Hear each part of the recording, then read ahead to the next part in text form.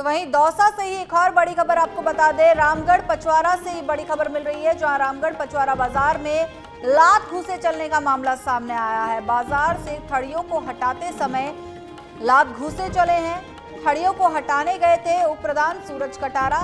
तो वहीं थड़ी संचालकों का कहना है कि उनके पक्ष में है कोर्ट का फैसला, फिर भी थड़ियाँ हटाने पहुँचे उप तो दौसा के रामगढ़ पचवारा से बड़ी खबर, जहाँ बीच बाज़ार लाभ घूसे चले हैं।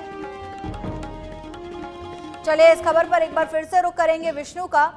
विष्णु, क्या ये पूरा मामला है जहाँ पर उप प्रधान सहित जो लोग हैं वो आपस में उलझते नज़र आ रहे हैं? लात घूसे चलने की बात यहाँ पर सामने आई है। जी, आपको बताना चाहता हूँ कि ये रामगढ़ पचौरे के मेन बाज़ार का मामला है, जहाँ पर 100 साल से पाँच ठगियाँ रखी हुई थी, जिसे आज जो सूरज कटा रहे हैं, जो पंचायत समिति उप प्रधान है, वो कुछ अपने समर्थकों को लेकर उनको हटाने के लिए गए हैं।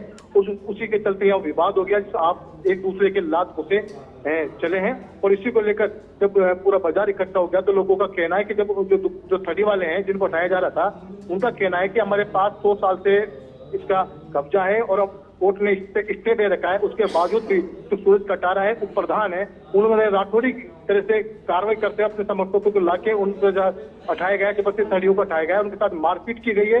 इसी के लिए सूचना पर जो उपखंड अधिकारी वहाँ वो भी पहुँचे हैं और उन्होंने पूरे मामले को देख कर जब लोगों को समझा दिए कि इनके पास स्टे तो इनको हटाया नहीं जा सकता, उसके बाद वापस सड़ियों को जाँच की वहीं लगाया गया। इस दरमियान जो सूरज कटारे के समर्थकों और जो खड़ी वाले हैं, जो उनके बीच में खूब एक दूसरे के लाभ पूछे चले हैं। इस तरह को लेकर पूरा घटनाक्रम हुआ है।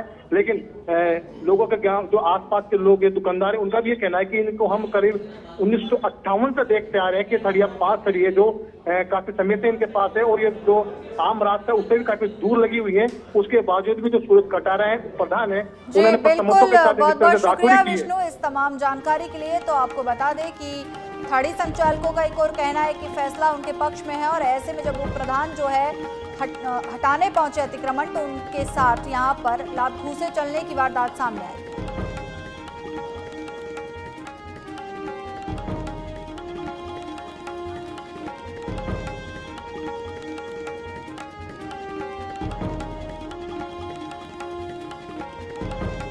तो दौसा के रामगढ़ पचवारा का ये पूरा मामला है जहाँ पर लात घूसे चलने का बीच बाज़ार में ये मामला सामने आया है। बाज़ार में थड़ियों को हटाते समय चले हैं लात घूसे। थड़ियों को हटाने गए थे उपप्रधान सूरज कटारा और इस बीच उनके समर्थकों में और बाज़ार में जो व्यवसायी हैं, उनमें आपस में तकरार हो गई।